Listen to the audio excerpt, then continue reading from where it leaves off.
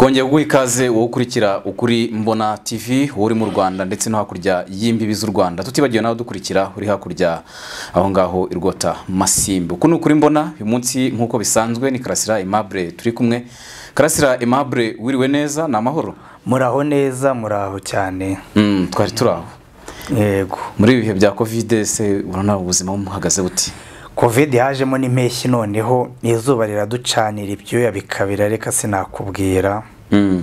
gusa nyine ni uguhanyanyaza nta kundi twabigira nta kundi. Hanyuma abantu ubona bubahiriza amabwiriza yo kwirinda covid cumi n'icyenda kuko ubona ko ari urugamba turwana niba ujya ukurikira ku mibare ku rwego mpuzamahanga no mu rwanda ubona ko oya imibare cyane. Ariko turagerageza tumaze gupfusha abantu batatu bonyine. Mm, kandi babiri bari mu mahanga nako hafi ya bose bayivanye mu mahanga. Yego. Ikindi abantu bagenda babyumva ariko kenshi navuze yuko byaba byiza buriya abantu babyumvise kuruta amategeko kuko abantu benshi nta n'ubu ndabyabihamya ko iyo ndi kugenda mbona abantu benshi badatinya kovidi Mm. abantu batinya polisi ko yabahana ntabwo batinya kovidi batinya polisi ko yabahana ntibyaba ari icyuho igihe umuntu agitinya icyo gihe polisi. kiba ari iki- ni edikasiyo ni edika- ni uburere baba bagomba kubarera iyo babareze. Babigishije ni ukwigisha ni uguhozaho nkeka.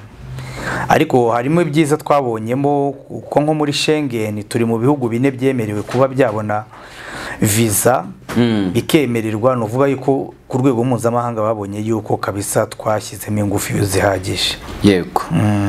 Hanyuma rero ku mbuga nkoranyambaga zitandukanye hamaze iminsi havugwa amakuru ko karasira yaba yarashimuswe. Iyo wumvishe ibintu nk'ibyo wifata ute? Ibyo bintu reka mbisobanure kuko ibyo bintu bimaze kundya ahantu ni ubwa gatatu cyangwa ubwa kane maze kubyumva. Ibyo bintu bikunda gukoreshwa cyane abantu babikoresha ba mbere ni abantu batavuga rumwe n'ubutegetsi. Mm. ni ukuvuga ngo hari ukuntu iyo ibintu bigenda abantu bakunda byacitse. Bavuga bati nta nkuru dufite muri iyi minsi reka duhitinge. Izina ryanjye rero ryabaye igikoresho ryabaye igicuruzo bararicuruza ahantu hose. Ni ukuvuga ngo ngewe ubwanjye nanjye narabyumvise. Ariko mu kubyumva mfite abantu benshi bankurikiye kandi mwe rwose abantabariza mwese nongere mbibabwire ndabashimiye ariko mujye mutabariza kuko mufite amakuru mpamo. Ayo makuru yari ibihuha nongere nanone mbisubiremo. Ni amakuru abantu bareba bakavuga bati wenda leta y'i kigali ni igiki twayishinja? Reka turebe undi muntu tuyishinja yuko buri gihe ishimuta. Mm. karasira nanjye nkazamo kuko nari navuze ko ngomba gutanga gukora igitabo cyanjye kandi nzagikora ahubwo icye ikiramambi ikintu cyabaye abantu batazi ni uko igihe nabonaga gato hano uwo munsi nta nubwo nari meze neza narebaga nsa nk'utameze neza kandi n'ubu simeze neza. Nakiriye umuvandimwe umuvandimwe nirirwa mbabwira n'ababishoboye abadukurikiye mu bashobora kumfasha mwambwira uburyo mwamfashamo kuko mumaze kumbera umuryango unamfasha mu bintu byinshi no mu nama. Mfite umuvandimwe wanjye urwaye yari yagiye mu kigo ngororamuco cy'i Nyamagabe barabasezereye rero. Urumva rero nkanjye uba uzi karagiteri ze mba numva ngiye kongera gusubira ku musaraba. Ntabwo arwaye ngo agororwe umuco ko ku ijana ku ijana ako nakongera nkagasobanuraho. Ikibazo afite ni arwaye ikibazo cyo mu mutwe. Ibyo bita ah, depresiyo yo irasanzwe ahubwo babita derire na paranoia. Ni ukuvuga ngo ntabwo aba atekereza nk'ibyo abandi batekereza afite ubwoba bw'ibindi bintu yumva baramuroze ibintu nk'ibyo.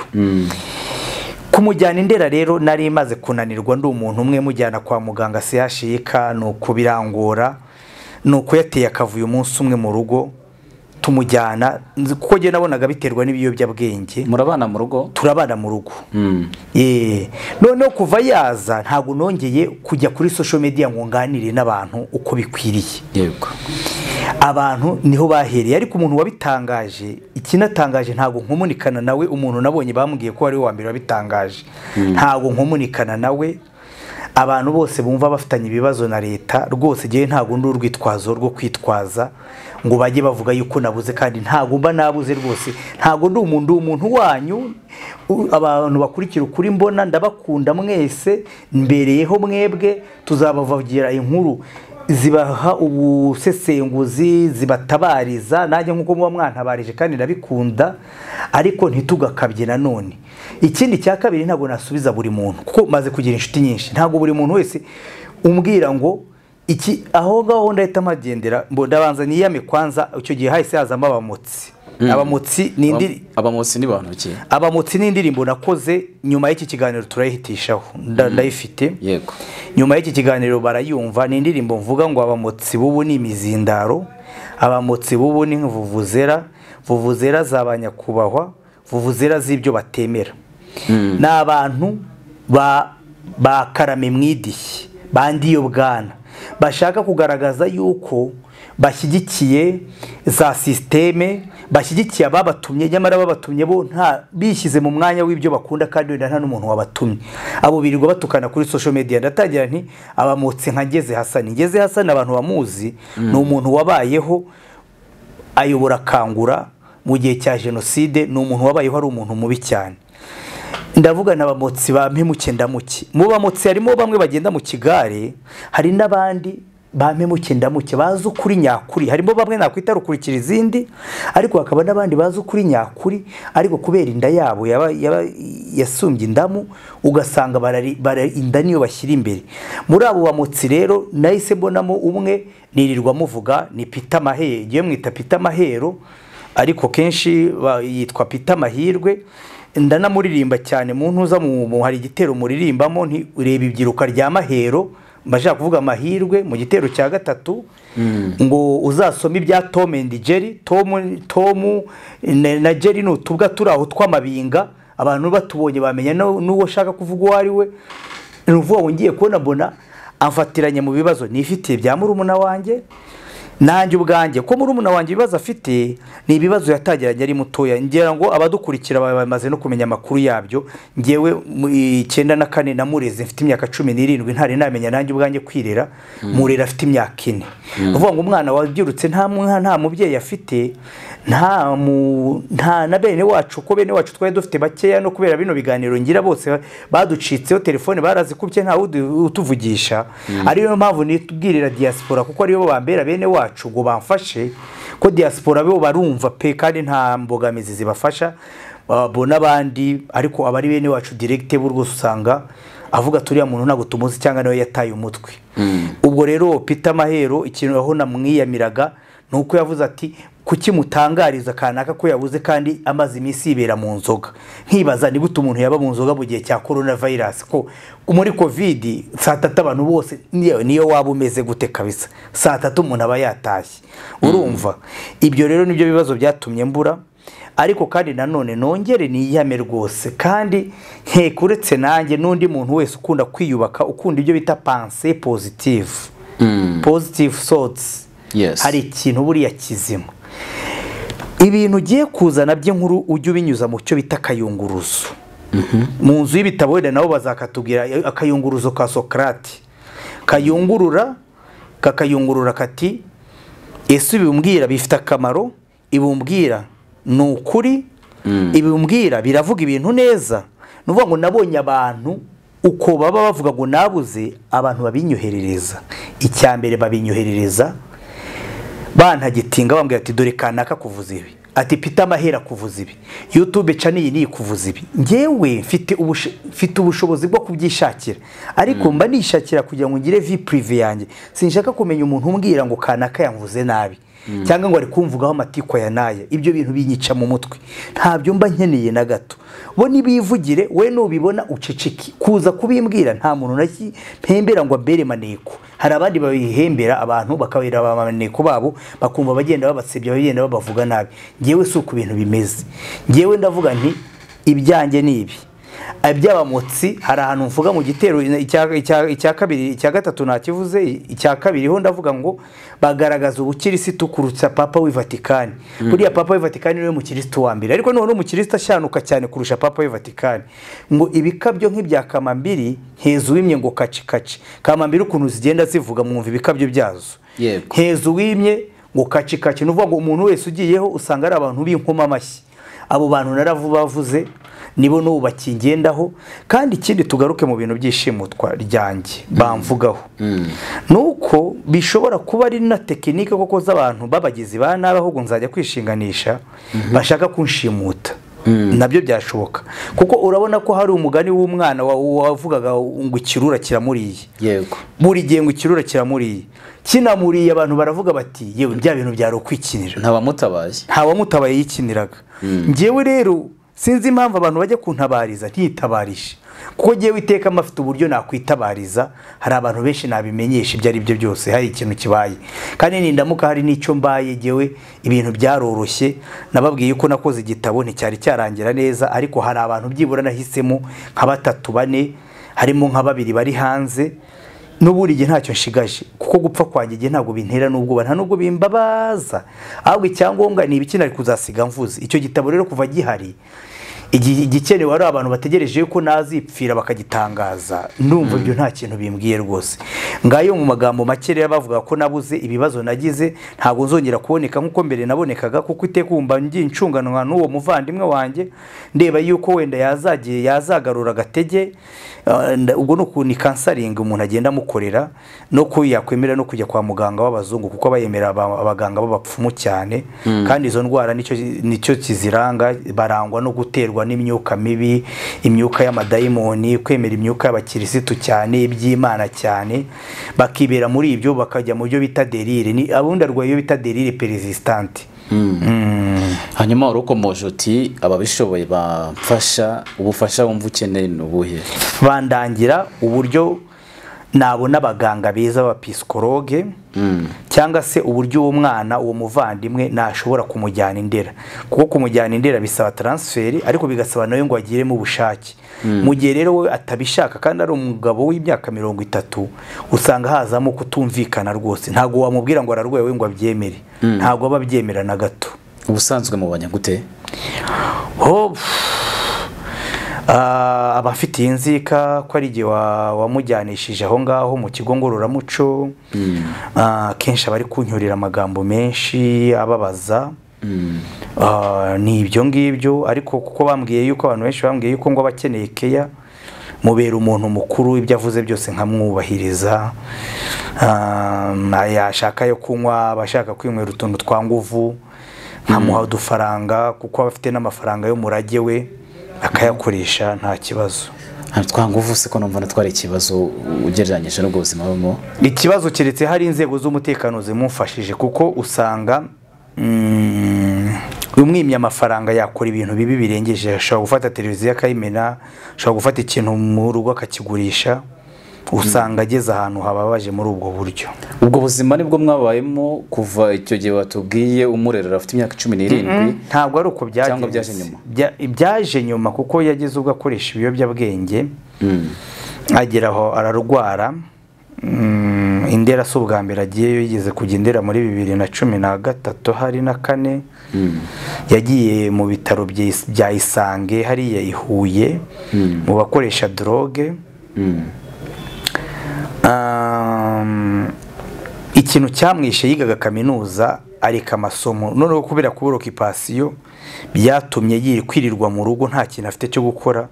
Iteka aba iyo ataryamye ashaka ikintu cyatuma abona ibitotsi niyo mpamvu wumva yinywera utwo twa ngufu yaretse amasomo kubera ibyo bibazo? Yaretse amasomo kubera ibyo bibazo. We yishyiragamo ko abamwanga. Afite ugira santima ya perisekisiyo wumva yuko abantu bose bari kukugendaho wumva isi yose ari mbi wumva ko igihugu ari kibi wumva ko wahunga dogo ni byo abambwira nta bindi. Abambwira yuko yahunga azava mu gihugu ko abantu bose bamwanga. Ariko ibyo nkabona bituruka mu bwana cyane kuko yagize ubwana butari bwiza. Yagize ubwana butari kuba imfubyi guhera ku myaka ine ntugire asosiyasiyo urererwamo ntugire n'umuryango wa, za muvoma za akitivite nk'abasikuti abasaveri ngo ugire ahantu barizwa ibyo bintu ugiye kureba usanga birica cyane kabisa. Bituma umuntu nta ntugire na siporo ubarizwamo. Ngewe nko mu kintu cyamfashije ni uko nagiraga amahirwe nkajya muri karate.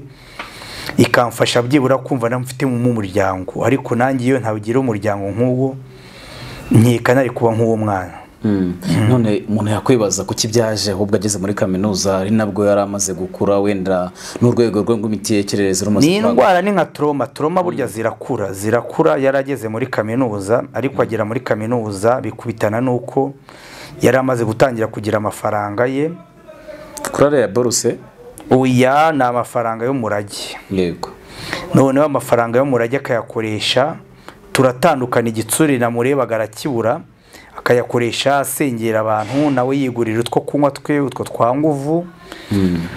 Ashiduka amasomo yatsinzwe. Arimuka aza kuba i kigali ntitwanabana. Twongeye kubonana avuye ahantu bita kwa kabuga bari baramufunze. Utabizi?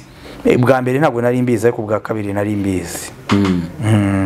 Ndumva bitoroshye no kwihana ntabwo byoroshye ariko umuntu azajya ashyiramo ingufu. Hari n'abandi bafite ibyo bibazo benshi. Yego urakoze cyane kandi karasira ni ukomeza kwihangana kurumva ko ubwo buzima murakoze cyane. N'abandi bose bakomeze bihangane gusa ikintu nabwira abantu byo rwose mubimenye ah, buriya buri muntu yivugira ibye. Hariho nk'abantu barwaje ugasanga urwaje umurwayi afite kanseri. Kanseri uba uzi ko hari igihe izamwica kandi urwaye kanseri diyabete muraganira mukumvikana uburyo afata imiti. Ariko umuntu urwaje umuntu ufite ikibazo cyo mu mutwe. Umuntu urwaje umuntu bita umudoroge uwo muntu ni we wa mbere urwaje umuntu mubi wa mbere ubaho. Ko niwo musaraba wa mbere nabonye ku isi wa mbere ubaho. Indi misaraba ni ukubeshya. Ibindi byo ni ukubeshya. Kanseri baramuca ukuguru ejo bundi azipfire. Ubu uzi igihe bizatangira n'igihe bizarangirira ariko umudoroge we arakubeshya ngo yabiretse ejo agatima kakongera kakarehareha akongera akajya mu gikundi. Byakubitana n'uko arwaye mu mutwe kuko iyo- uko agenda amara igihe agenda agira ikibazo cyo kurwara mu mutwe za paranoia kumva abantu bari kumuhiga za toroma ziteye toroma zishobora no guterwa n'ibiyobyabwenge depresiyo zirengeje izo za ide delirante amaderire aperesisitanti ibintu nk'ibyo bigakabya. Ni ukuvuga ngo ibyo bintu ugiye byambereye ni cyo kintu narakirebye baravuga ngo imana iha umuntu umutwaro yashobora kwikorera igihe uwo mutwaro ugiye warananiye kugeza ubu. Ndi kwivugira nseka ariko ni ibintu nagerageje nkapanga nk'uri gukina ijede sheke ndetse mpange gutya umuntu umwohereze se za iwawa ugasanga yagiye nyamagabe na iwawa ni kimwe neza neza. Umwohereza ahangaha se ugasanga aho umwohereje nawe arahazi mwanaganira ukumva arakurusha n'ibitekerezo. Ariko hari ahantu adekonaho gatoya. Kumva arakubwira ati jyewe ndabizi kwambuka umuhanda iriya n'imodoka ibi ni ibiki nanjye nanayigura ntamenya no kuyitwara ukumva ni muzima. Hashira akanya ukumva avanze ibintu atari ko jyewe ati mbona hari abantu bari kumpiga ati ntabwo nerejwe kuzakora mu rwanda wenda ngomba guhunga. Ukumva kubwa ibintu nk'ibyo kugira ngo muzumvikane bisaba ngo umwubahe nawe ube umusazi nkawe ni ikibazo gikomeye. Ni ukuvuga ngo abantu barwaje abantu b'indwara zo mu mutwe mujye mubasabira kuko ni indwara indwara zo mu mutwe na doroge ni ikintu gikomeye kabisa kandi kidapfa kurangira. Kandi ababirwaye ikibabaje nta nubwo bapfa gupfa nanabivuga rwose buriya abantu bapfa ni abantu bafite akamaro nta nubwo bakunda gupfa. Ni iki- ni ikibazo gikomeye.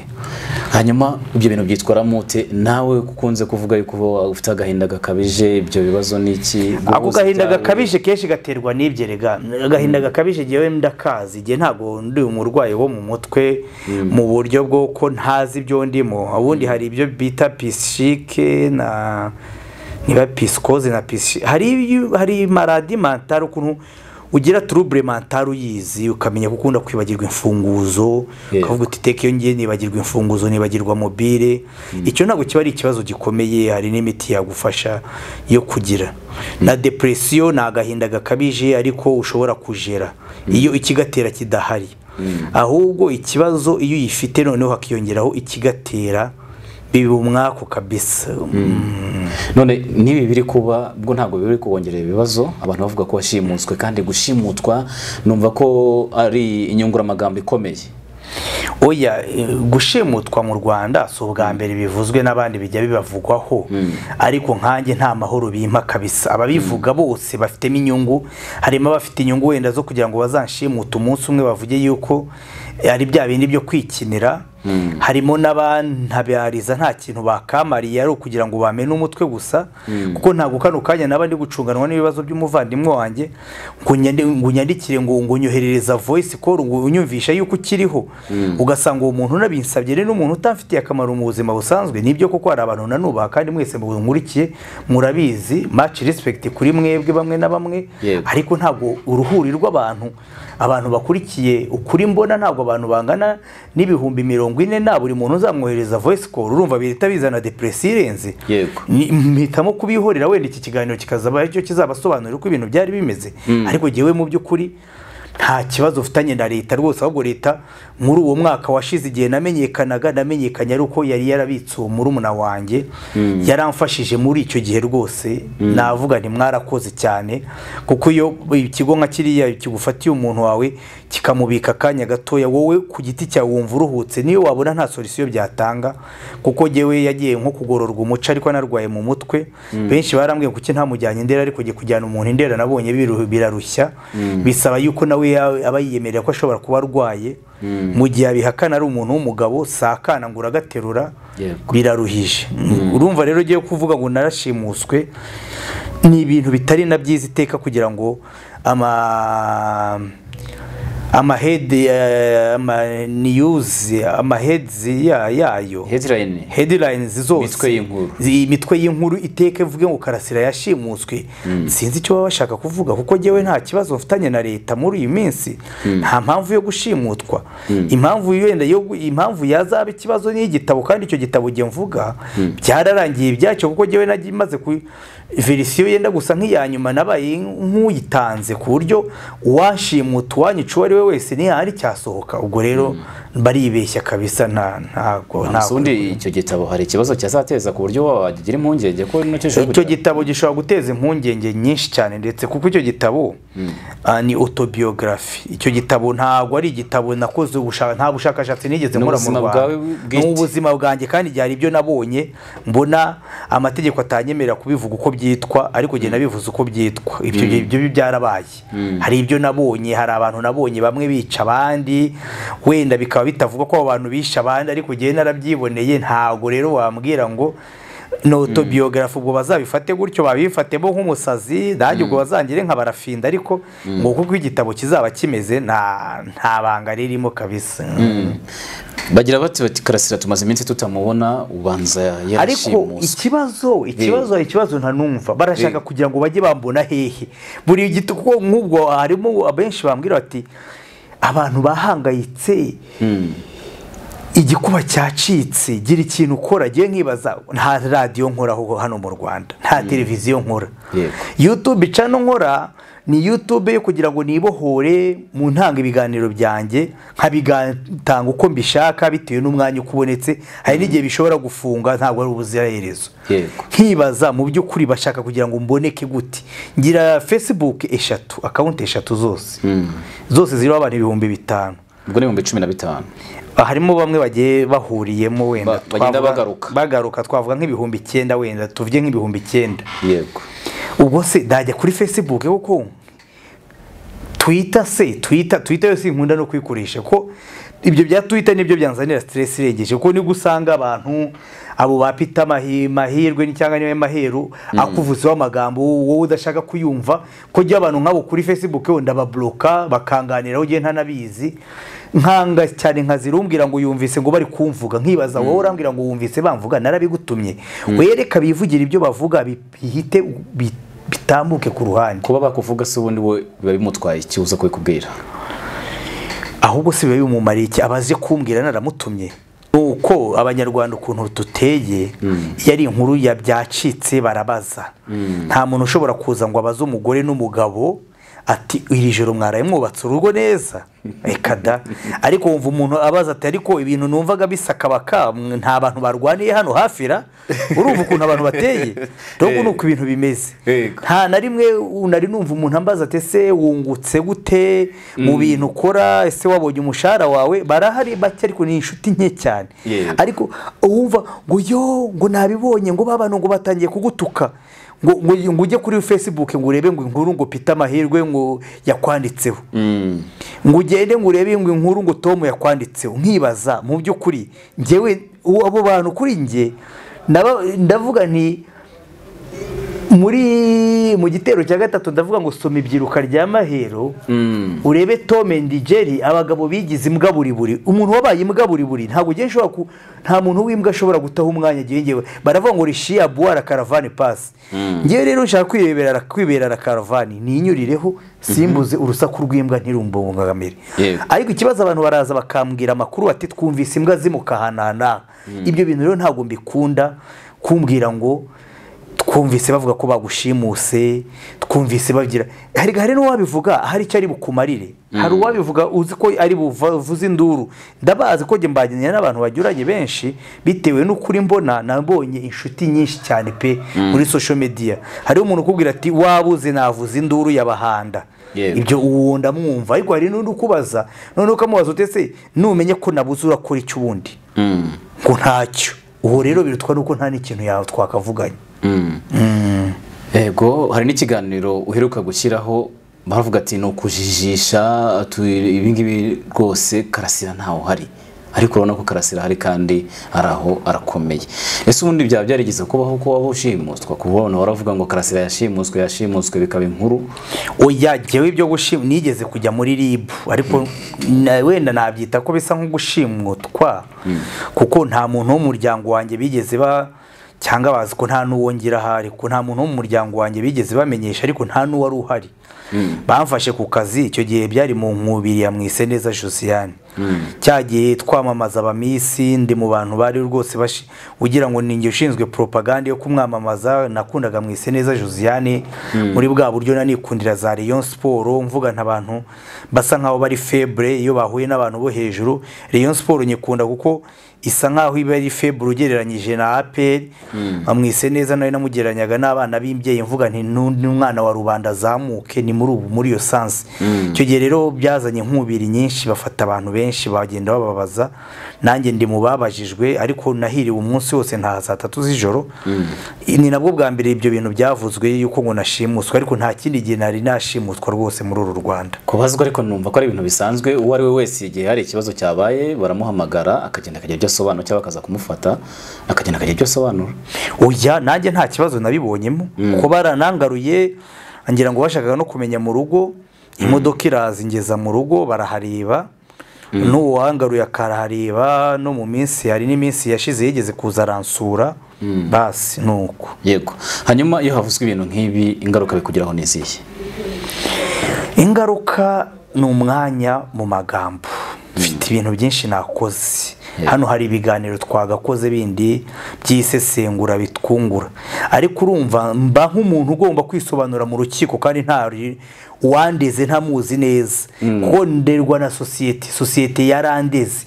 Indega yuko cyangwa hahora hwihwiswa. Ibihuha bivuga gutya. Wowe urabisobanura gute? Nkahora ndimo kwisobanura. Nzahora nisobanura kugera ryarisi ntabwo nabivamo. Sinzahora nisobanura ngo nashimuswe nashimuswe. Ahubwo abo bantu babivuga bo bajye berekana ibimenyetso bigaragara. Kuko kuvuga ngo telefone y'umuntu ntabwo iriho ntabwo telefone y'umuntu ari itegeko rwose ko igomba kuba iriho. No ku kazi ngira ngo barabizi yuko mu gihe cya wikendi atari ngombwa yuko telefone y'umuntu iba iriho. Telefone y'umuntu ni uburenganzira bwe bwite. Ngewe rero kumva ngo telefone yanjye ntiriho kuko nananiwe cyangwa hari ibindi bintu uri kwitekerereza kandi ngewe ikinatangaje telefone yanjye ntabwo yigeze ivaho. Ahubwo ikibazo nagiye kubona ni umuntu umwe gerega ndanamuzi ni uko ntavuga izina rye. Gusa ni umuntu ujijutse arajijutse pe. Yaraguhamagaye? Uya baramumbwiye wari umuntu wambwiye ati genda urebe kuri facebook. Ye ni umugabo ujijutse uba muri amerika. Hanyuma ibyo abyandika yagize yakuvugisha mbere ngo akubure? reka reka reka reka ntabwo mvugana nawe. Mufite nk'inshuti kuri facebook ariko ntabwo mvugana nawe. Kuvugana nawe nabivuga. No kuri facebook ntiyakwandikiye kuri facebook nta kintu yigeze ambwira. Yashyizeho inkuru gutyo gusa. Bo barabikora abantu bari hanze bajya bagira ubwoba nabo barwaye nk'icyo nakwita paranoia. Bafite ubwoba burengeje ku buryo bikanga ibintu bakavuga bati kanaka. Buriya ubwo amaze iminsi atavugwa reka tumuhururize turebe niba yaba ahari. Ariko ngewe nabagira inama y'uko bajya byibura bareba umuntu dusanzwe tuvugana bakamuntumaho. Kuko ntabwo nanone abo bantu bose abakunzi b'ukuri mbona mu byihanganire muri ibihumbi ubu ngubu bimaze kuba mirongo ine na birindwi ntabwo mwese nabitaba.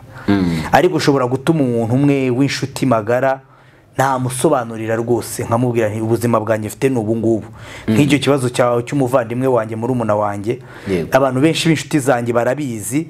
Abari za australia narabibabwiye abari za canada abari za erope barabizi ko ari uko biteye. Naho ibindi byo rwose ni ibihuha. Noneho bigafatira n'abantu nk'abo bise abanyabuhanga babandi bagera kuri social media bagashinyagura ugasanga bamwe noneho baranaku banakureza ibindi bati uwo muntu ahubwo amaze iminsi yisindiye. Ukibaza muri korona wanywa gute kuko amafaranga tu- turayafite twabuze aho tuyanywera. Umuntu akakubwira ngo ngo umaze iminsi ngo baragutabariza wowe umaze iminsi wisindira. Hanyuma utekereza ko impamvu ari wowe bavuga bakakugira urwitwazo yaba iyihe? Eya, impamvu yo irumvikana kuko genda mu bantu hano mu rwanda. Umwe muri bakeya bashobora kuba bavuga ibintu batekereje bajye nyirizina ni ukuvuga ngo wa muntu ubona ibintu uko biri akabivuga uko biri. Ibyo bintu rero abantu benshi cyane cyane ariko abari hanze hari uburenganzira biyimye. Bumva yuko ngo ibyo bintu utabivuga niba ubivuze ugomba kunyongwa ugomba kuburirwa irengero ugomba gushimutwa. Ni ibintu rero iteka baba bakeka bati ubwo karasira yavuze ibi. Kandi na- narabigaragaje nta hundi muri politike rwose. Kandi nongere mbisubire musize impamvu ibyo bintu babyitwaza ko nta hantu namwe nshobora kujya muri politike. Ko politike ibundikira umuntu ntabe free. Ngewe ndamutse nanagiye muri politike nindamuka nanayigiyemo.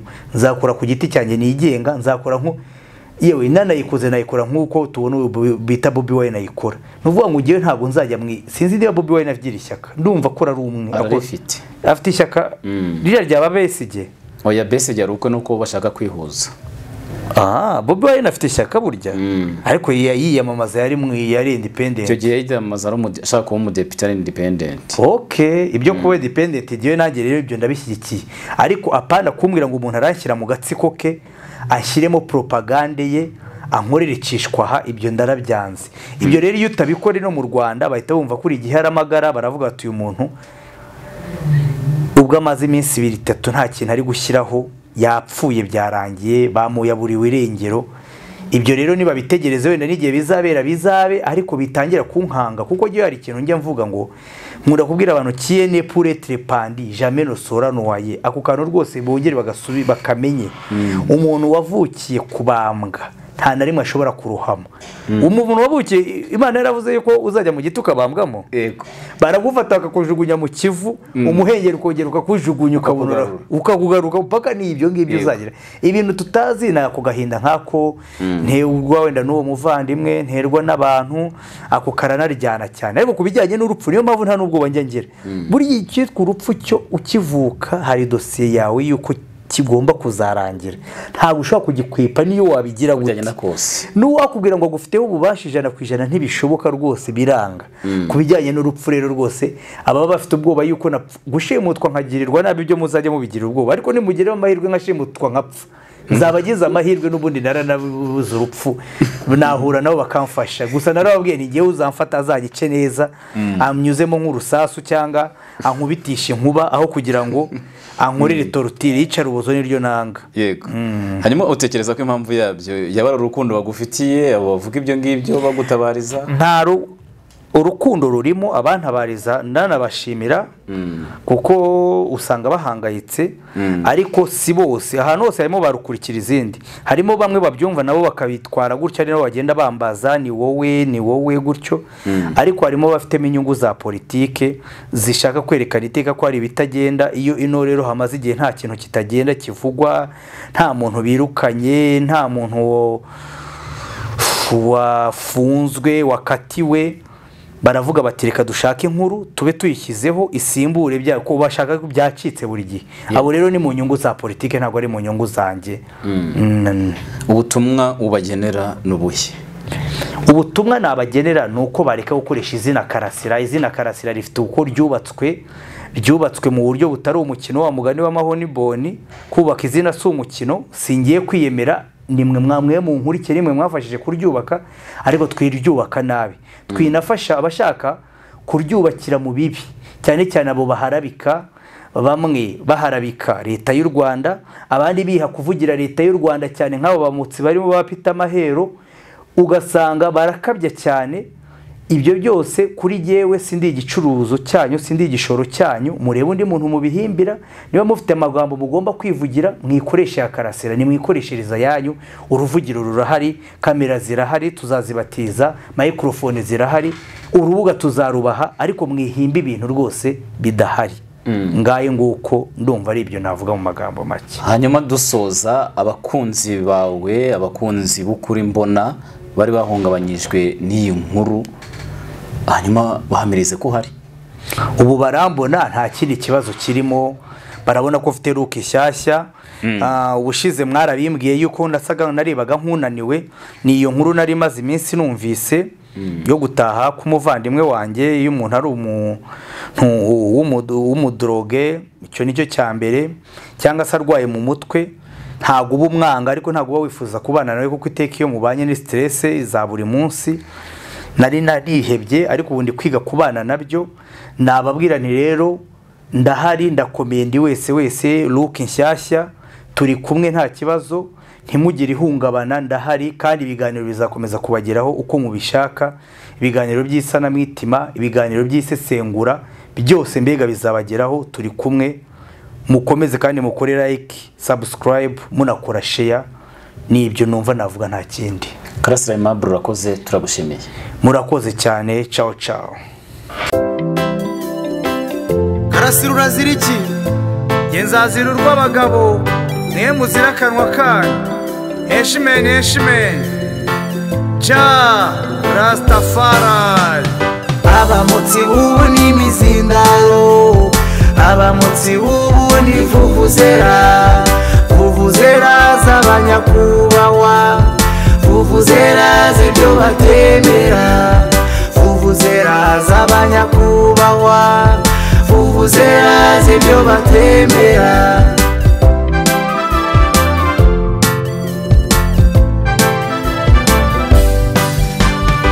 abamotsi nka ngeze hasani abamotsi memuke na muke byagera kuri social media bagashinyagura inkotsa byagera kuri social media bagashinyagura inkotsa abamotsi b'ubu ni imizindaro abamotsi b'ubu ni vuvuzera vuvuzera z'abanyakubahwa vuvuzera z'ibyo batemera.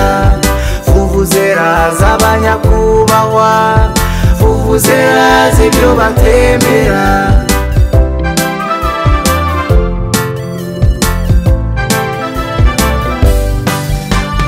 Bagaragaza ubukirisitu kurusha papa w'i vatikani ibikabyo nk'ibya kamambiri nkezo w'imyembo kacikaci ibikabyo nk'ibya kamambiri nkezo w'imyembo kacikaci yo. Abamutsi b'ubu ni imizindaro abamutsi b'ubu ni vuvuzera vuvuzera z'abanyakubahwa vuvuzera z'ibyo batemera vuvuzera z'abanyakubahwa vuvuzera z'ibyo batemera.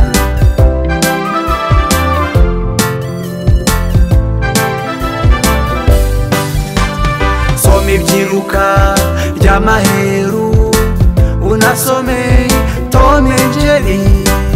Abantu bigize imbwa buri buri. Uburyarya buhakwa n'iyorobo abantu bigize imbwa buri buri. Uburyarya buhakwa n'iyorobo abamutsi b'ubu ni imizindaro abamutsi b'ubu ni vuvuzera vuvuzera z'abanyakubahwa vuvuzera z'ibyo batemera vuvuzera z'abanyakubahwa vuvuzera z'ibyo batemera Why are you separating the people? Why are you assaulting the people? Shame on you, Henchman. Shame on you, Henchman. Shame on you.